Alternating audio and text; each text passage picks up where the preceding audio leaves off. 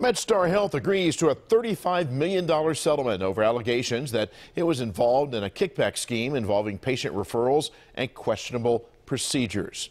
MedStar will pay the massive amount to settle the case under the False Claims Act. The company was accused of paying kickbacks to Mid-Atlantic Cardiovascular Associates in exchange for referral patients through contracts at Union Memorial and Franklin Square hospitals.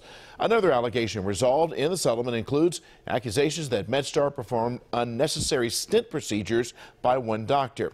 The allegations claim MedStar received Medicare payments for those procedures from January 2006 through December 2012.